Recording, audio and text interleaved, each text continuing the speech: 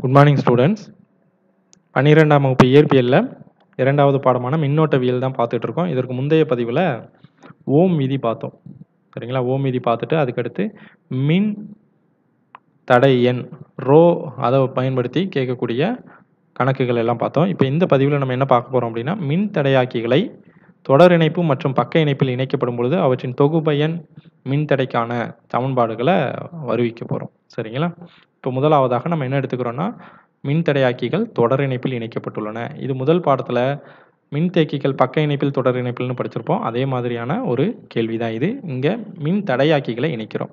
இப்போ நான் என்ன பண்ணுறேன் அப்படின்னா R one R two R three அப்படின்னு சொல்லக்கூடிய மூன்று மின்தடையாக்கிகளை ஒரு மின்கலனோடு என்ன பண்ணுறோம் தொடராக இணைக்கப்பட்டிருக்கு. நீங்கள் இந்த இடத்துல மின் தடைகள் மட்டும்தான் இணைக்கணும் அப்படின்னு கிடையாது. இதே இடத்துல ஒரு மூன்று பல்புகளை மின் விளக்குகளை கூட நீங்கள் இணைக்கலாம். இல்லைனா ஏதாவது ஒரு மின் சாதனங்களை கூட இணைச்சிக்கலாம். இப்படி தொடராக இணைக்கப்படும் பொழுது இவற்றோட தொகுப்பையின் மின் தடையை தான் நம்ம கணக்கிட போகிறோம் இப்போ நான் முதல்ல ஆர் ஒன் இது இரண்டாவது மின்தடை ஆர் டூ இது மூன்றாவது மின்தடை ஆர் த்ரீ இந்த மூன்று மின்தடை ஆக்கிகளை தொடராக இணைச்சிருக்கிறேன் இந்த மின்கலனோடு. சரிங்களா? இப்போது இந்த மின்னோட்டம் மின்கலன்லேருந்து பாயக்கூடிய மின்னோட்டம் ஒவ்வொரு மின்தடையாக்கி வழியாகவும் எவ்வளவு பாயும் அப்படின்னா இது வந்து மின் தடையாக்கிகள் மின் தேக்கிகள் கிடையாது. அப்போ மின் தடையாக்கிகள் அப்படிங்கும்போது மின்னூட்டங்களை எங்கேயுமே அதால் சேமிக்க முடியாது. அப்போ மின் துகள்கள் எல்லா பக்கமும் ஒரே அளவு மின் துகள்கள் தான் அந்த சுற்றுலா பாயும். இப்போ மின் துகள்களின் அளவு ஒரே மாதிரி இருப்பதால் பாயும் மின்னோட்டத்தின் அளவும் ஒரே மாதிரி இருக்கும். அப்போது ஒவ்வொரு மின்னோட்ட ஒவ்வொரு மின்தடையாக்கிகள் வழியே பாயக்கூடிய மின்னோட்டத்தின் மதிப்பு சமம். ஐங்கிற மின்னோட்டம் தான் பாயும். இப்போ எல்லா மின்தடைகள் வழியாகவும் என்ன மின்னோட்டம் தான் பாயுது? ஐ தான் பாயும். அப்போ முதல்ல இதை நீங்கள் தெளிவாக புரிஞ்சுக்கணும்.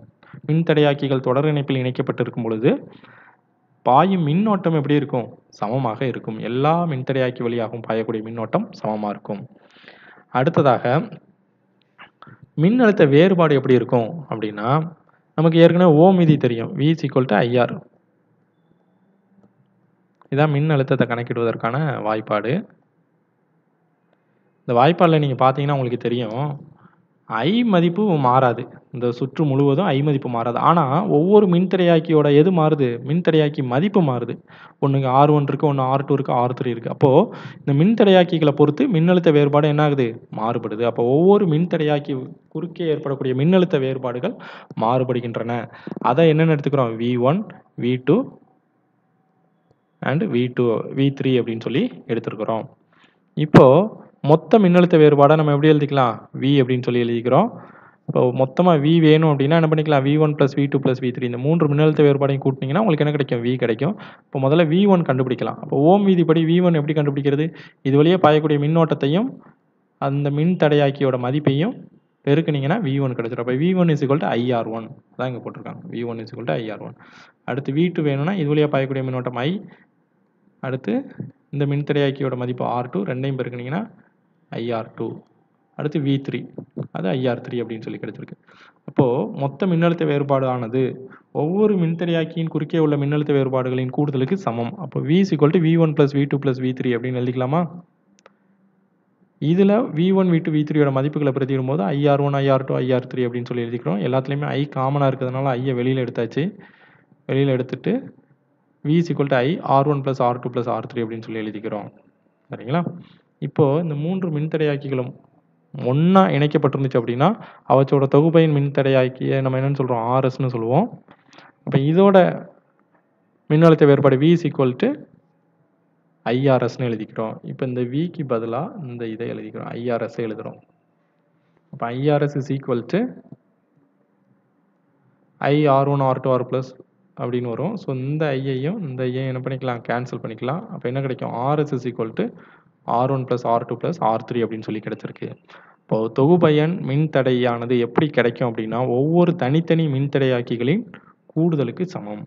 அப்போ இது எப்படி இருக்கும்? மூன்று மின்தடையாக்கிகளை இணைச்சிங்கன்னா அதோட மின்தடை மதிப்பு மிக மிக அதிகமாகும். தனித்தனி மின்தடையாக்கிகளை தொடர் தொடர் இணைப்பில் இணைக்கப்படும் போது அதோட மின்தடையாக்கிகளின் மதிப்பு அதிகமாகும். இதை பயன்படுத்தி என்ன பண்ணுறாங்க ஒரு கணக்கு கேட்டிருக்கிறாங்க. அதை பாருங்கள் இருபத்தி நாலு வோல்ட் மின்கலத்துடன் இணைக்கப்பட்டுள்ள ஃபோர் ஓம் சிக்ஸ் ஓம் மின்தடையாக்கிகளுக்கு குறுக்கே உள்ள மின்னழுத்த வேறுபாடுகளை காண்க. மேலும் இந்த சுற்றில் தொகுபையின் மின்தடையையும் கணக்கிடுக அப்படின்னு சொல்லி கேட்டிருக்காங்க. முதல்ல தொகுபயன் மின்தடை கண்டுபிடிச்சிடலாம். அப்போ ரெண்டு மின்தடையாக்கிகளும் எப்படி இணைக்கப்பட்டிருக்குன்னு பாருங்கள் தொடர் இணைப்பில் இணைக்கப்பட்டிருக்கு. அப்போ தொடர் இணைப்பின்லாம் ரெண்டையும் நீங்கள் என்ன பண்ணால் போதும்? ஆட் பண்ணால் போதும். அப்போ ஃபோர் ப்ளஸ் சிக்ஸு டென்னு இதுதான் அந்த தொடர் சுவிட்சில் உள்ள தொகுபயன் மின்தடை. அடுத்து சுவிட்சில் பாயும் மின்னோட்டம் கண்டுபிடிச்சிடலாம். I is equal to V by R அப்போ வியோட வேல்யூ டுவெண்ட்டி ஃபோர் ஆரோட வேல்யூ டென் அப்போது ஐயோட value two point four ampere இப்போ ஒவ்வொரு மின்தடையாக்கி வழியே குறுக்கே ஏற்படக்கூடிய மின்னழுத்த வேறுபாடு கணக்கிட போகிறோம் இப்போ இது வழியே பாயக்கூடிய மின்னோட்டம். ஏன்னா இதில் ஏன் மின்னோட்டம் கணக்கிட்டோம்னா ரெண்டு மின்தடையாக்கி வழியாகவும் பாயக்கூடிய மின்னோட்டம் சமம் தான் இப்போது முதலாவது ஃபோர் ஓம்க்கு இடைப்பட்ட மின்னழுத்த வேறுபாடு வேணும்னா இதோட மின் தடையோட மதிப்பையும் மின்னோட்டத்தின் மதிப்பையும் பெருக்கணும். அப்போ two point four into four பெருக்குனீங்கன்னா nine point six volt இதுதான் முதலாவது மின்தடைக்கு குறுக்கே உள்ள மின்னழுத்த வேறுபாடு. இரண்டாவது சிக்ஸ் ஓம் மின்தடையாக்கினா சிக்ஸையும் கரண்ட்டையும் பெருக்கணும். Two point four ampere into six அப்போ ஃபோர்டீன் பாயிண்ட் ஃபோர் வோல்ட் இது இரண்டாவது மின்தடையாக்கியின் குறுக்கே உள்ள மின்னழுத்த வேறுபாடு. இது ரெண்டையும் நீங்கள் கூட்டினீங்கன்னா உங்களுக்கு என்ன கிடைக்கணும் டுவெண்ட்டி ஃபோர் வோல்ட் கிடைக்கும். சரிங்களா? அப்படியே நீங்கள் கிராஸ் செக் பண்ணிக்கலாம். ஓகே இப்போ இதுக்கு அடுத்ததாக நம்ம என்ன பார்க்க போகிறோம் அப்படின்னா பக்க இணைப்பில் மின்தடையாக்கிகள். போன இதில் மின்தடையாக்கிகள் எப்படி இணைக்கப்பட்டிருந்துச்சு? தொடர் இணைப்பில் இணைக்கப்பட்டிருந்துச்சு. அப்போ தொடர் இணைப்பில் இணைக்கப்பட்டிருக்கும் பொழுது அவற்றின் அந்த மின்தடையாக்கிகள் வழியே பாயக்கூடிய மின்னோட்டங்கள் சமமாக இருக்கும். மின் அழுத்தம் மட்டும் மாறுபடும். ஆனால் இங்கே எல்லா மின்தடையாக்கியும் பாருங்கள் R one R two R three இது மூணையும் எப்படி இணைச்சிருக்கிறோம்? ஒரு மின்கலனோடு பக்க இணைப்பில் இணைச்சிருக்காங்க. அப்படி இணைக்கப்படும் பொழுது முதல்ல என்ன நடக்குது அப்படின்னா ஐங்கிற மின்னோட்டம் தான் மின்கலன்லேருந்து போகுது. போகும்போது இங்கே ஒவ்வொரு பாதையிலும் என்ன ஆகுது? ஐ ஒன் ஐ டூ ஐ த்ரீன்னு மின்னோட்டம் பிரிஞ்சிருது. அப்போது மின்னோட்டம் இங்கே வேறுபடுது. ஆனால் எது சமமாக இருக்குது பாருங்கள் எல்லா மின்தடையாக்கிகளுக்கும் குறுக்கே இருக்கக்கூடிய மின்னழுத்த வேறுபாடு மின்கலனின் மின்னழுத்த வேறுபாடு வி அப்போ எல்லாத்துக்கும் இடையில மின்னழுத்த வேறுபாடு எப்படி இருக்குது சமமாக இருக்குது ஆனால் மின் ஓட்டங்கள் எப்படி இருக்குது வெவ்வேறாக இருக்குது இப்போ ஐ ஒன் ஐ டூ ஐ த்ரீன்னு பிரிஞ்சிருது. பிரிஞ்ச மின்னோட்டங்கள்லாம் இதில் வரும்பொழுது மறுபடியும் எதனா மாறிடுது. ஐயா மாறிடுது. அப்போ ஐ இஸ் ஈக்குவல் டு எப்படி எழுதிக்கலாம்? I one plus I two plus I த்ரீன்னு எழுதிக்கிறோம். இவற்றின் கூடுதல் தான் அது. அப்போ ஒவ்வொரு மின்தடையாக்கி வழியே பாயக்கூடிய மின்னோட்டம் கணக்கிடலாம். அப்போ ஓம் மீதி நமக்கு தெரியும். வி ஈக்குவல் டு ஐஆர் இதான் ஓம் மீதி. இதில் ஐ வேணும்னா வி பை ஆர்னு எழுதிக்கலாம். அப்போ ஐ ஒன் வேணும்னா V by R one I two வேணும்னா V by R two I three வேணும்னா வி பை ஆர் த்ரீ இந்த மதிப்புகளை எல்லாம் இந்த சமன்பாட்டில் பிரதியிடுறோம். ஐ ஒனுக்கு பதிலாக V by R one I டூக்கு பதிலாக வி பை ஆர் டூ இந்த மாதிரி பிரதியிடுறோம். பிரதியிடும்போது நமக்கு இந்த மாதிரி ஒரு ஈக்குவேஷன் கிடைக்குது. இதில் வியை காமனாக வெளியில் எடுத்துடுறோம். அப்போ V into one by R one plus one by R two plus one by R three அப்படின்னு சொல்லி கிடச்சிருக்கு. இப்போ இந்த மொத்த மின்கலன்களையும் ஒன்றா இணைச்சிக்கிட்டோம் அப்படின்னா அதோட மின்னழுத்த வேறுபாடு மின்னோட்டம் எப்படி இருக்கும் அப்படின்னா I equal to V by Rp அதான் இதில் கொடுத்துருக்குறாங்க. மொத்தமாக தொகுபயன் மின்தடை ஆர்பி இது வழி ஐங்கிற மின்னோட்டம் பாய்கிறது. அப்போ பாயக்கூடிய மின்னோட்டத்தோட மதிப்பு I is equal to V by ஆர்பின்னு எழுதிக்கலாம்.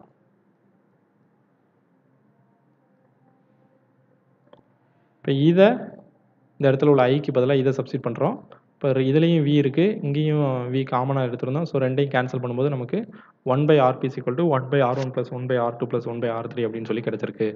அப்போ தொகுபயன் அதாவது மின்தடையாக்கிகளை பக்க இணைப்பில் இணைக்கப்படும் பொழுது தொகுபயன் மின்தடை எப்படி இருக்கும் அப்படின்னா தனித்தனி மின்தடைகளின் தலைகீழ் மதிப்புகளின் கூடுதல் தொகுபயன் மின்தடையின் தலைகீழ் மதிப்புக்கு சமம். அதுவும் தலைகீழ் மதிப்புக்கு தான் சமம். நீங்கள் டேரெக்டாக ஆர்பின்னு போட்டு one by R one plus one by R two plus one by R த்ரீன்னு எழுதக்கூடாது. ஒன் பை ஆர்பின்னு தான் எழுதணும்.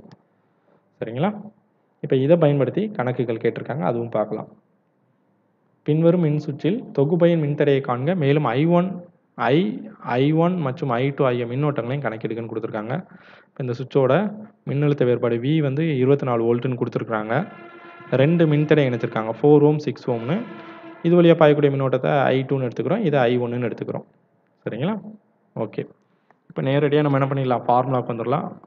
தொகுபையின் மின்தடை கணக்கிடுவதற்கு one by Rp equal to one by R one plus one by R two இப்போ one by four plus one by six போட்டாச்சு. One by Rp இது ரெண்டுக்கும் எல்சிஎம் எடுத்திங்கன்னா டுவெல் கிடைக்கும். டுவெல்னா மேலே ஒரு வரும்? ஃபைவ் கிடைக்கும். அப்போ ஒன் பை ஆர்பியோட வேல்யூ ஃபைவ் பை டுவெல் இதை அப்படியே என்ன பண்ணிக்கணும்? தலைகீழியாக எடுத்துக்கணும். ஆர்பி ஈக்குவல் டு நமக்கு தொகுபையின் மின்தடை ஆர்பி தான் வேணும். தொகுபையின் மின்தடையின் தலைகீழி தேவையில்லை. அப்போ Rp equal to twelve divided by ஃபைவ்னு எடுத்துக்கலாம். இதுதான் இவற்றோட தொகுபயன் மின்தடையோட மதிப்பு. இப்போது மின்னோட்டம் ஐ வேணும். அப்போ I is equal to V by R அப்போ ஆர் இங்கே இருக்குது வி வேல்யூ டுவெண்ட்டி ஃபோர் இருக்குது கால்குலேட் பண்ணலாம். இப்போ I is equal to V by R அதை போடலாம். ஸோ இவங்க எப்படி கால்குலேட் பண்ணியிருக்காங்க அப்படின்னா ஒவ்வொன்றுக்கும் முதலாவது இது வழியாக பாயக்கூடிய மின்னோட்டத்தை முதல்ல கணக்கிடுறாங்க. அடுத்து இது வழியாக பாயக்கூடியதை கணக்கிடுறாங்க. அப்போ ஐ ஒன் வேணும்னா V by R one V by R one so six ampere அடுத்து I two equal to V by R two அது ஃபோர் ஆம்பியர் கிடச்சிருக்கு. ஸோ ரெண்டையும் ஆட் பண்ணோன்னா சுவிட்சில் பாயும் மொத்த மின்னோட்டம் ஐ கிடச்சிரும். ஸோ இப்படியும் ஈஸியாக கால்குலேட் பண்ணிக்கலாம். ஓகேங்களா இப்போ அடுத்தது பாருங்கள் இந்த கணக்கில் இரண்டு மின்தடையாக்கிகள் தொடர் இணைப்பு மற்றும் பக்க இணைப்பில் இணைக்கப்படும் பொழுது தொகுபயன் மின்தடைகள் முறையே பதினைந்து ஓம் மற்றும் ஐம்பத்தாறு டிவைடட் பை பதினஞ்சு ஓம் அப்படின்னு சொல்லி கொடுத்துருக்குறாங்க. எனில் தனித்தனி மின்தடைகளின் மதிப்புகளை காண்க. இப்போ இரண்டு மின்தடைகளை தொடர் இணைப்பாக இணைக்கும் போது அவற்றோட தொகுப்பையின் மதிப்பு நமக்கு என்ன கிடைக்குது? பதினஞ்சு ஓம்னு கிடைக்குது. இப்போ R is equal to R one plus R two equal to பதினஞ்சு ஓம்னு எடுத்துக்கிறோம். இவற்றையே பக்க இணைப்பில் இணைச்சோம்னா ஆர்பியோட மதிப்பு என்ன கிடைச்சிருக்கு? ஐம்பத்தாறு பை பதினஞ்சுன்னு கிடைச்சிருக்கு. இதுதான் கொடுத்துருக்குறாங்க. இதிலிருந்து ஆர் ஒன் ஆர் டூ தனித்தனி மின்தடையாக்கிகளின் மதிப்புகளை கணக்கிடுங்கன்னு கேட்டிருக்காங்க. இப்போ இதிலிருந்து நான் என்ன பண்ணுறேன் அப்படின்னா சமன்பாடு ஒன்றில் ஆர் ஒன் ப்ளஸ் ஆர் டூவோட மதிப்பு பதினஞ்சு ஓம்னு இருக்குது சரிங்களா? அதை எடுத்துகிட்டு வந்து இதில் பிரதிடுறோம் அப்படியே. அப்போ R one R two divided by இங்கே உள்ள R one plus R two பதிலாக பதினஞ்சு போட்டுக்கலாம். இஸ் ஈக்குவல் டு ஐம்பத்தாறு டிவைடட் பை பதினஞ்சு. இந்த பதினஞ்சையும் பதினஞ்சையும் கேன்சல் பண்ணிடலாம். அப்போ R one into R two equal to ஐம்பத்தாறுன்னு கிடச்சிருக்கு. இதிலிருந்து எனக்கு ஆர் டூவோட வேல்யூ வேணும்னா ஐம்பத்தாறு டிவைடட் பை ஆர் ஒன்றுன்னு எடுத்துக்கலாம். இப்போ ஆர் டூவோட வேல்யூ கண்டுபிடிச்சிருக்கிறோம். அடுத்ததாக இந்த மதிப்பை என்ன பண்ணுறோம் சவுன்பாடு ஒன்றில் பிரதியிட போகிறோம் அப்போ சவுன்பாடு ஒன்று என்னது? R one plus R two equal to பதினஞ்சு. அப்போ ஆர் ஒன் ஆர் டூக்கு பதிலாக ஐம்பத்தாறு divide by R one is equal to பதினஞ்சு. இப்போ இதுக்கு எல்சிஎம் எடுத்திங்கன்னா ஆர் ஒன் இங்கே என்ன கிடைக்கும்? R one square plus fifty six அப்படின்னு சொல்லி கிடச்சிருக்கும். இஸ் ஈக்குவல் டு ஃபிஃப்டீன் இப்போ இதில் என்ன பண்ணிக்கலாம்? கிராஸ் மல்டிப்ளேஷன் பண்ணிங்கன்னா பதினஞ்சு R one is equal to R one square plus fifty சிக்ஸ்னு கிடைக்கும். இப்போ இந்த பதினஞ்சு ஆர் ஒன்னை கூட இந்த பக்கம் எடுத்துகிட்டு வரும்போது மைனஸ்னு வரும். இப்போ அதை சிம்பிளிஃபை பண்ணிங்கன்னா உங்களுக்கு என்ன பண்ணலாம்? இதில் ஒரு ஈக்குவேஷன் கிடைக்குது. இதை நம்ம என்ன பண்ணுறோம் ஆர் ஒன்னோட வேல்யூ காரணிப்படுத்துதல் மூலமாக தீர்க்கலாம். பெருக்குனா என்ன பண்ணணும்? ஐம்பத்தாறு கிடைக்கணும். கூட்டுனா என்ன வரணும்? பதினஞ்சு வரணும். ஓகேவா அப்போது ஏழு எட்டு ஐம்பத்தாறா? ரெண்டையும் கூட்டினீங்கன்னா என்ன வரும்? உங்களுக்கு பதினஞ்சு வரும். பெருக்கு நீங்கள் ஐம்பத்தாறு கிடைக்குது. ஸோ அப்போ எப்படி நீங்கள் எடுத்துக்கலாம்? ஆறு ஒன்று எட்டுன்னு எடுத்துக்கிட்டு சமன்பாட்டில் போ பிரதியிடுறோம். அப்போ நமக்கு என்ன கிடைக்குது?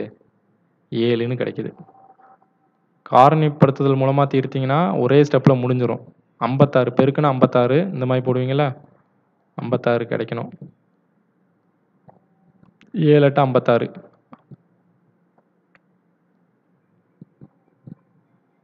இப்போ இதை பயன்படுத்தி தீர்த்திங்கன்னா ஆர் ஒன்னோட வேல்யூ ஏழும் ஆர் டூவோட வேல்யூ எட்டு இப்படியும் கிடைக்கும். இல்லை அப்படின்னா என்ன பண்ணிக்கலாம்?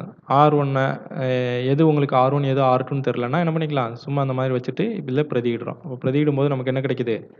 இந்த மதிப்புகள் கிடைக்குது. இதிலிருந்து டைரெக்டாக ஆர் ஒன் ஏழு ஆர் டூ என்ன எடுத்துக்கிறோம். எட்டு ஓம்னு எடுத்துக்கிறோம். ஸோ இதுவும் ரொம்ப இம்பார்ட்டண்டான ஒரு டாபிக் தான். இது ஃபைவ் மார்க்கில் கேட்பாங்க. மின்தடையாக்கிகள் தொடர் இணைப்பு மற்றும் பக்க இணைப்பு அப்படிங்கிறது ஃபைவ் மார்க்கில் கேட்கக்கூடிய கேள்விகள். ஸோ இதை நல்லா தெளிவாக படிச்சுக்கோங்க. அந்த ஃபார்முலா ரிலேட்டடாக நிறைய ஒன் மார்க்ஸ் கேட்பாங்க. ஸோ அதுவும் பார்த்துக்கோங்க. இதில் உங்களுக்கு ஏதாவது டவுட் இருந்துச்சு அப்படின்னா இந்த நம்பருக்கு நீங்கள் காண்டாக்ட் பண்ணி கேட்டுக்கலாம். Thank you students